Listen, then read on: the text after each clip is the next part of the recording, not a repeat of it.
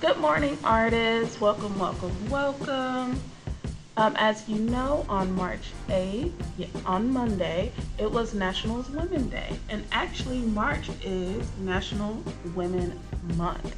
So, all this month, we're going to be learning about women and female artists. So, this week, we're going to learn about Georgia O'Keeffe. So, here's a little quote by Georgia O'Keeffe. It says, I've, I've been absolutely terrified every moment of my life and I've never let it keep me from doing a single thing that I wanted to do. Wow, have you guys ever been scared? I know I have. And no matter what, it says Georgia O'Keeffe, no matter how scared she was, she still did it.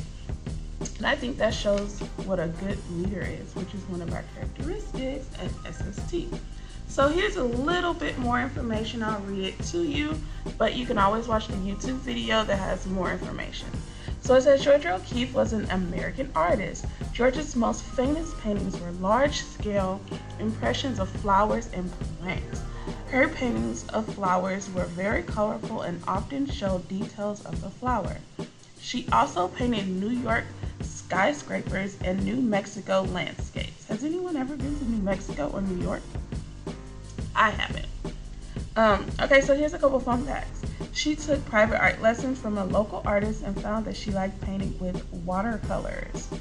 Have you guys ever used watercolors? It's one of my favorite things to um, paint with. Um, even at an early age of 12, she knew she wanted to become an artist. One of her paintings sold for over $44 million. Oh my goodness, in 2014. She liked to draw silly pictures of her teachers when she was in school. That's cool. What do you guys think of Georgia O'Keeffe's work? From looking at a, here's a couple pictures of her work here, and then here's some examples of some students' work who've tried to um, make art just like Georgia O'Keeffe, which is something that we're going to do today. So today, we're going to make our own flowers. So here's some examples of some other students who have um, tried to make Georgia O'Keeffe flowers. So we're not going to be using watercolors, we're actually going to be using crayons and colored markers. So I want you guys to go ahead and get your white paper out, some colorful crayons and some colored markers, okay? Let's get started.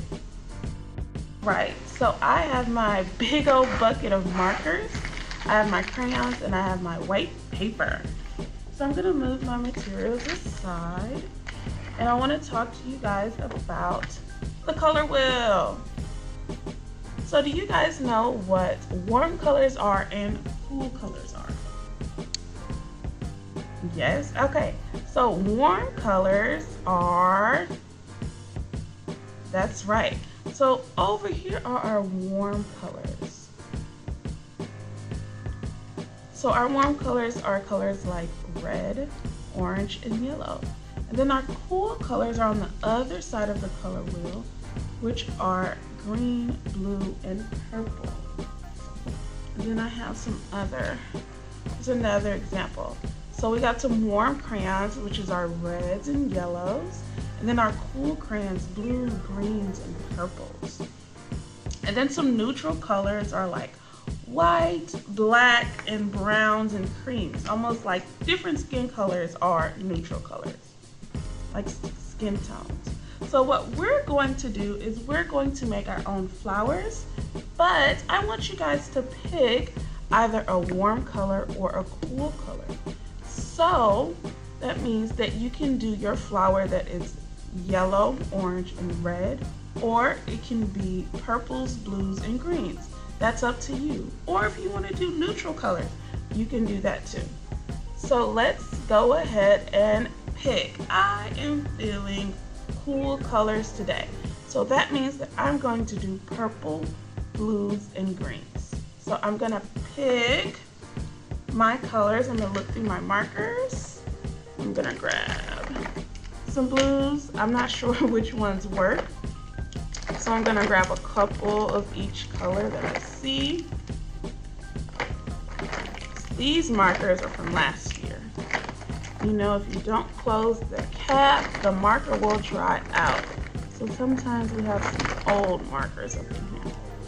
Oh, should I pick up this red? No, because I'm doing cool colors. So while I'm picking out my colors, I want you guys to pick whether you're gonna do warm or cool colors.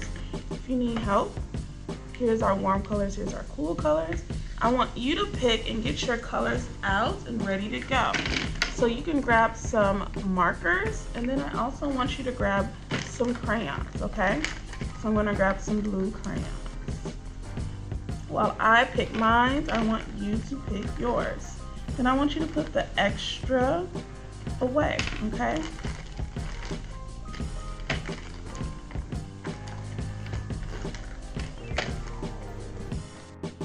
Okay, so I have all of my materials ready.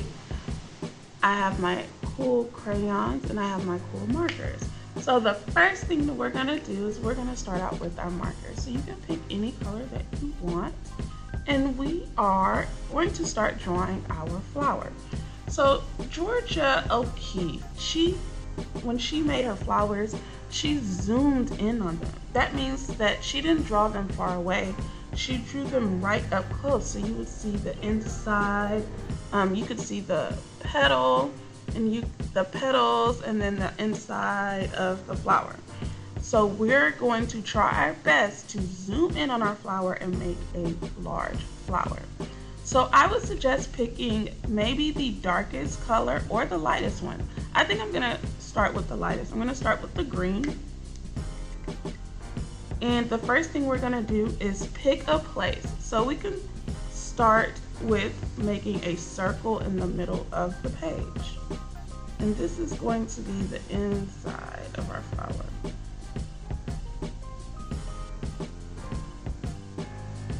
And then we're going to add petals all around. So your petals are going to be, here's my practice board. You guys can watch me practice make my petals, okay? So your petals, we have our circle. Your petals should be like big curves. You guys know what petals look like, right? And so we're gonna do petals all around.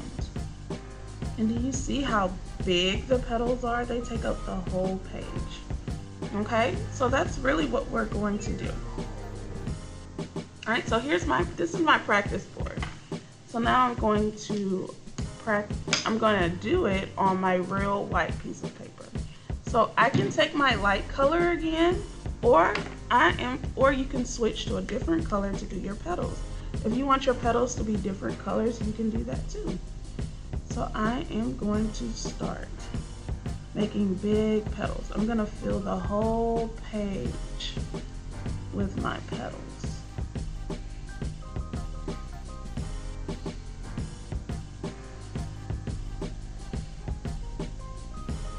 Remember your petal has to have two lines. So if you want your petals to be thin, they can be thin. Or if you want them to be bigger, they can be bigger. It's up to you okay? And your petals do not have to look like my petals. I just want you to try your best, okay? Okay, so now that we have our petals drawn, we can add some more detail. So when we look,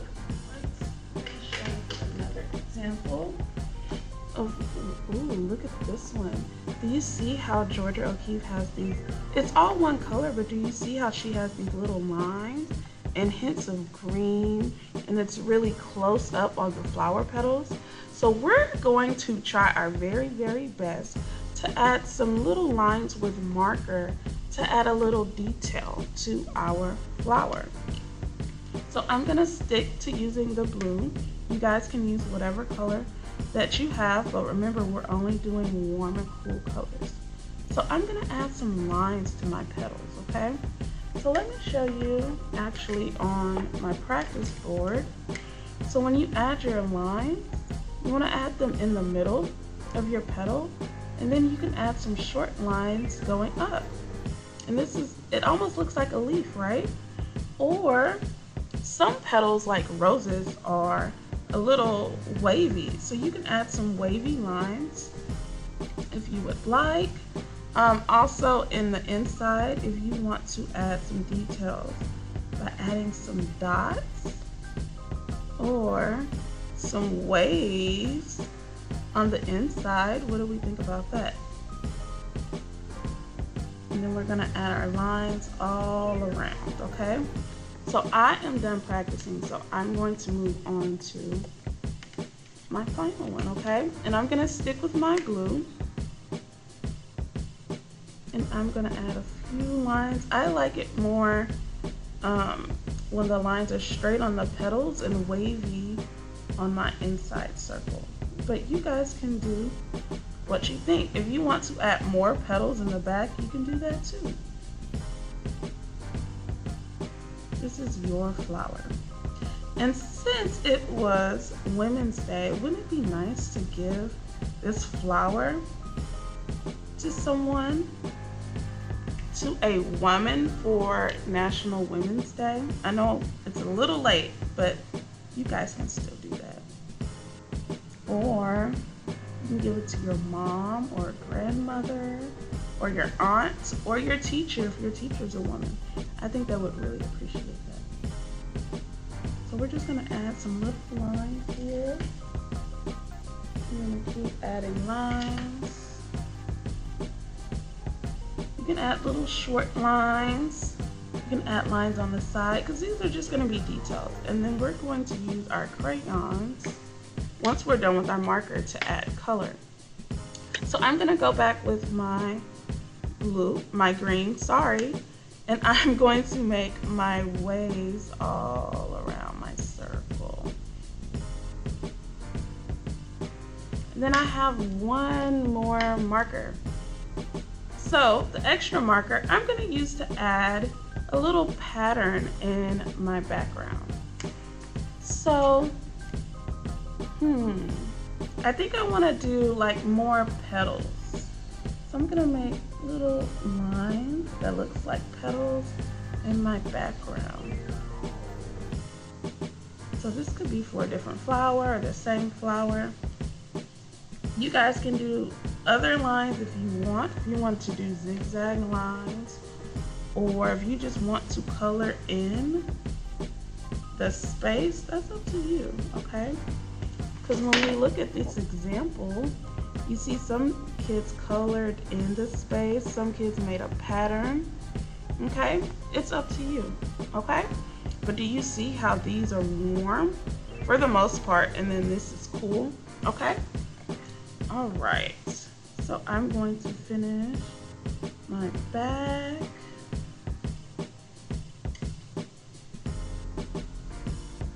now, once I'm done with my marker, the next step that we're going to do is we're going to add color. So I'm going to use my crayons to fill in the space whatever color I want. Even though I used a green here, I can still, a green marker here, I can fill this in with whatever color I want, guys. So I want you guys to get creative.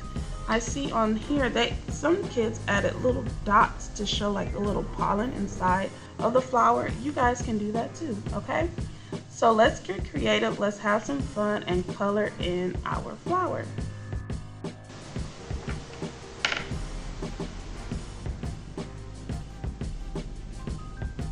You want to try to color inside the lines, right? So one thing I like to do, the little trick, is I like to color on top of wherever I did my marker first, kind of darker. And you see, and then I color lightly over it. And it almost makes shading. Shading is like um, different parts that are light and dark in an object. Like when you look at your hand, like my hand is not all one color, right? You guys see how it's darker here, it's a little lighter here, a little lighter there. That's what shading is. But you guys will learn more about that as you get older and as we learn more more about art, you guys will definitely learn more about shading.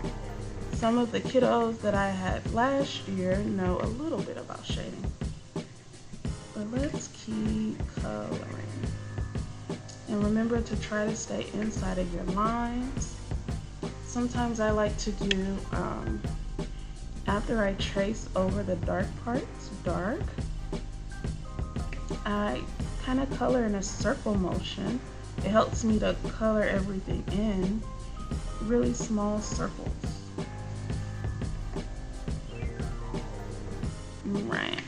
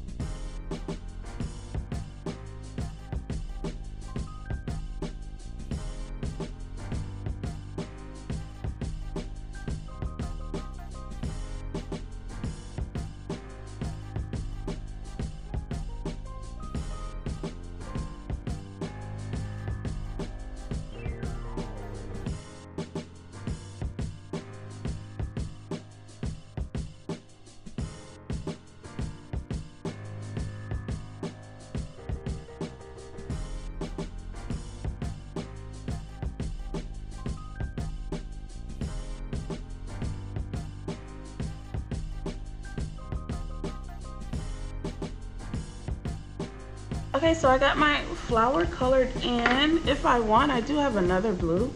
I can go back over on top if I have time, guys.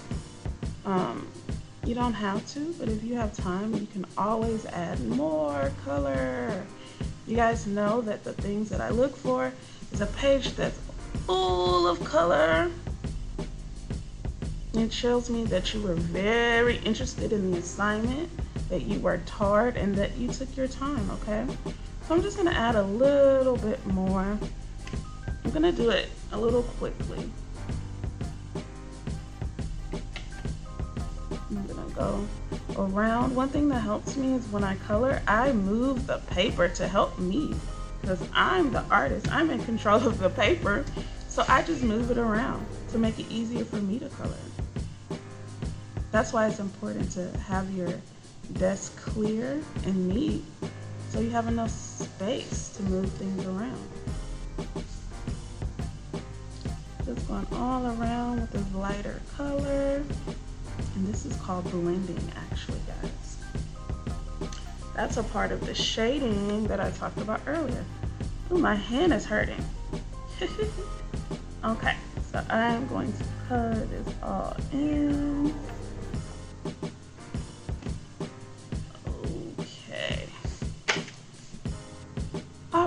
So now I'm going to do my green. So once again, I'm going to go all around a little bit darker. I'm gonna go all around with my darker green. And I'm gonna kind of mimic the lines. It doesn't have to be perfect. And then I'm going to take my lighter green and, and color all color it all in.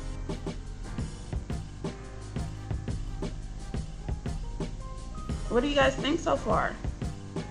Do you think Georgia O'Keeffe would be happy?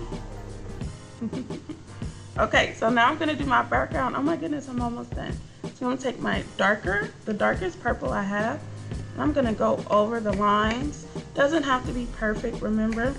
I'm just kind of making the lines. So this is gonna help with like a pattern or a texture. Um, it doesn't have to be perfect. I'm just gonna put those lines all around.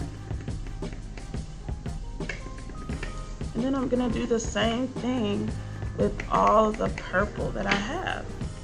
And even if I still have some white, that's okay too. Uh oh, this purple was darker, I didn't know, but that's okay. I'm gonna keep going all around, spin my paper, up, up, up, up,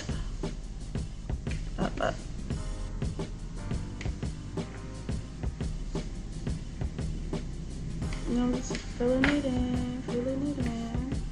We're almost done.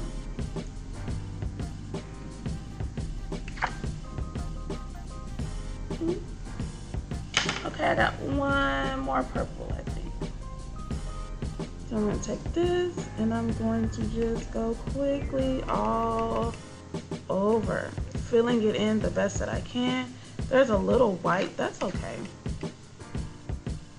Just filling it in the best that I can. Filling it in, filling it in.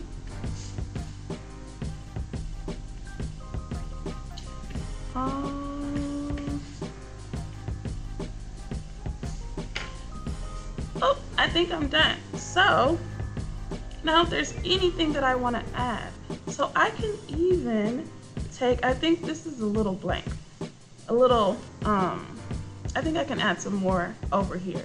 So you should do that every time you finish your assignment is look at it and say, hmm, can I add something else? So I actually want to add some purple onto my blue. So sometimes crayons are really hard to mix. So you have to press down a little bit. That's why my hand was hurting. So I'm gonna just press down a little bit and add a little purple on top of my flower. It's in the darker place. This is adding a little value. So my um, older kids, I really, really want you guys to add some shading because you guys learned about that. And then for my younger kindergarten, first and second grade, you guys don't have to go back over it if you don't want to, but if you want to challenge yourself, you can. Okay? But remember, I want you to try your best. Always, always, always, always try your best and make a full page. So I think I am done. So did I follow all of the rules? So what did I say? I had to have a cool or warm color. Let's look at our chart. Is this warm or is this cool? That's right, this is cool. So I only use blues, greens, and purples. Good job, Miss Johnson. And did I fill the page with the flower like Georgia O'Keeffe? I did. I tried my best. It's close up. The page is filled with color. And I think I did a pretty good job. What do you guys think? How did you do for your flower? Awesome. So if you guys were able to finish, I want you to take a picture and don't forget to upload it to Schoology, okay? So this is how you're going to get your credit. I also want to remind you to fill out your exit ticket for today. If you try to do your exit ticket tomorrow, it will not be available, okay?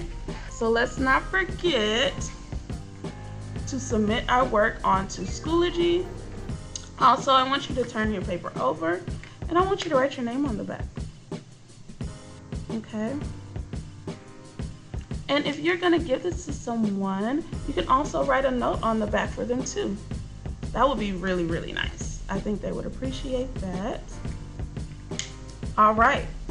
So next week is spring break. This is perfect introduction to spring break. We did a beautiful flower for National Women's Day and next week, I'm going to miss you guys so much, but I'm going to be working so hard on making more art assignments for you. Um, I cannot wait to see you guys the week after next for our next art class.